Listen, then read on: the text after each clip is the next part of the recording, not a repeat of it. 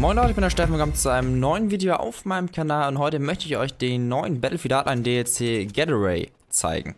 Solange es nämlich noch geht, selbst am Release-Tag gab es am Abend in Europa gerade mal eine Handvoll Server. Was dann doch ziemlich wenig ist, aber auf dem PC läuft Hardline ja eh nicht mehr so gut.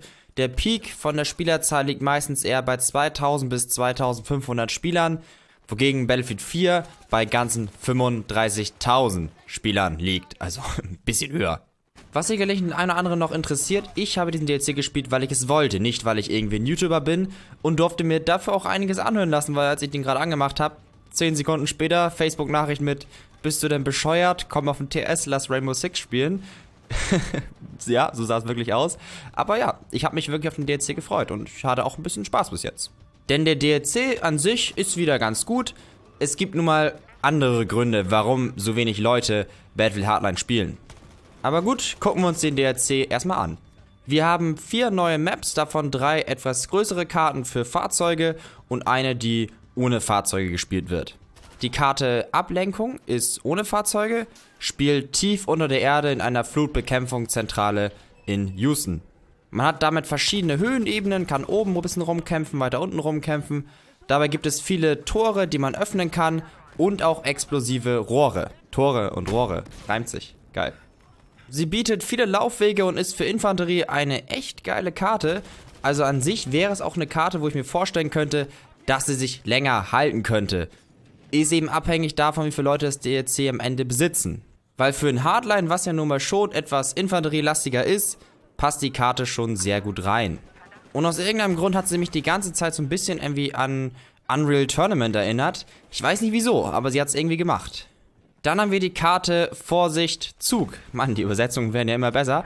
Und die habe ich auch schon mal gezeigt, und zwar beim ersten Battlefield Hardline Getaway Video. Die spielt in der hügeligen, waldreichen Ebene von Colorado. Sie ist so ein bisschen in einem Wild-West-Stil mit einer Bergsiedlung aufgebaut in der Mitte fährt immer ein Zug hin und her, der wirklich alles weghaut, was in seinen Weg kommt. Also wenn du da irgendwie versuchst, fünf Autos nebeneinander zu stellen, selbst die werden einfach kaputt gemacht. Aber der Zug gilt auch als Mitfahrgelegenheit, sprich man kann da einfach raufspringen, wie es zum Beispiel in Battlefield 4 nicht gehen würde. Ist vielleicht für einen Spielmodus wie Capture the Bag, wo man gerade die Tasche klaut, sehr sinnvoll. Da die Strecken auf dieser Karte auch nicht so kurz sind, ist der Zug da sehr gut mit eingebaut. Ab hier fangen dann auch wieder Fahrzeuge an, eine wichtige Rolle zu spielen. Wie auch bei den anderen beiden Karten und davon wäre die erste Pacific Highway, die spielt an den Küstenstraßen von Zentralkalifornien.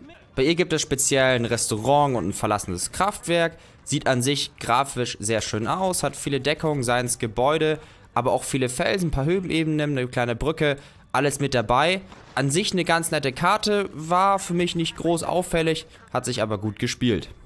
Und die Karte Doppelspiel spielt an der Grenze zwischen den USA und Mexiko. An sich schon mal ein sehr interessantes Szenario, ist in einem Wüstensetting aufgebaut mit diesen typischen gelblich-braunen Gebäuden. Es gibt so kleine Tunnel unter der Erde und viele vereinzelte Hügel. Gebäude gibt es wirklich nur an den Flaggenpunkten, sprich wenn man sich nicht an einem Flaggenpunkt befindet, hat man eben längere Wege, eben die Hügel, Straßen. Aber so Gebäude, ah, die gibt es da eher woanders.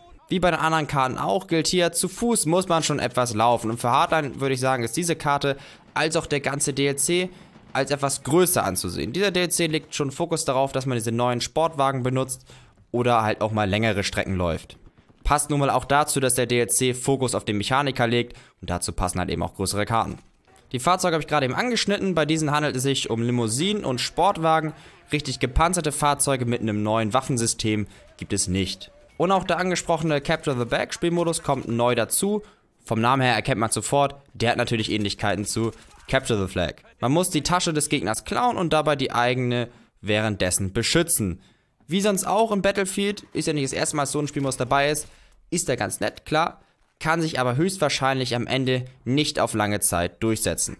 Da der DLC speziell auf den Mechaniker ausgelegt ist, bekommt der auch ein paar neue Waffen.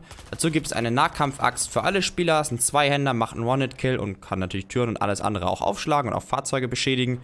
Und es gibt einen Störer, der gegnerische Geräte wie Minen, so gesehen, kaputt macht. Aber auch wie beim letzten DLC gibt es wieder mehrere Waffen für Nicht-DLC-Besitzer gratis dazu. Darunter auch ein Scharfschützengewehr für alle Klassen. Wie man auf sowas kommt, Weiß ich nicht, weil dafür gibt es doch das Klassensystem, um so ein bisschen auch die Waffen aufzuteilen und nicht nur Gadgets. So schlimm ist es am Ende nicht, weil die Sniper einfach nicht so stark ist. Trotzdem ist es halt einfach eine komische Idee und hätten sie echt nicht machen sollen. Es gibt natürlich noch viele weitere Waffen, doch dazu habe ich schon ein Video gemacht. Das werde ich euch in der Beschreibung verlinken, als ich die Waffen schon mal in das CTI angespielt habe. Insgesamt ist es wieder ein ganz passabler DLC, den auf jeden Fall Premium-Besitzer anspielen sollten. Solange es eben noch geht, solange es wirklich noch Server gibt. Und wenn das Problem mit der niedrigen Spielerzahl nicht bestehen würde, würde ich diesen DLC auch weiterempfehlen. Auf den Konsolen sieht es mit der Spielerzahl sicherlich anders aus und da gibt es auch den einen oder anderen Server mehr. Da ich aber keine Konsole besitze, kann ich das leider auch nicht genau dort einschätzen. Auf PC kann ich es aber sehen und ich sehe halt jetzt schon, der wird nicht lange gespielt, auch wenn der ganz gut ist. Also entweder droppen die bei EA bald mal ganz schnell den Preis vom Premium, sonst sieht das irgendwann schon schlecht aus mit den DLCs. Aber wer Premium hat, ein Blick ist es schon wert, so viel muss man dafür auch nicht runterladen, kann man ja gerne mal anspielen. Und sonst ja auch, ich habe es gespielt und sage auch, es macht ja Spaß. Bei Hardline liegt ja eher so das Problem bei mir zum Beispiel, es kann mich nicht halten. Ich spiele einen Abend lang Battlefield Hardline und sage, wow, es hat Spaß gemacht, war gut. Und am nächsten Abend sitze ich dann doch wieder da und spiele was anderes, obwohl ich ja Spaß mit dem DLC hatte. Naja, aber das zieht sich halt leider schon seit längerer Zeit durch mit Battlefield Hardline. Am Ende, ja, ich spiele DLC an, hab Spaß dran, das kann ich auf jeden Fall sagen. Und mach auch wie jetzt lieben gerne das Video. Und das war's, hoffentlich hat es euch gefallen. Man sieht sich beim nächsten Mal. Haut rein. Ciao.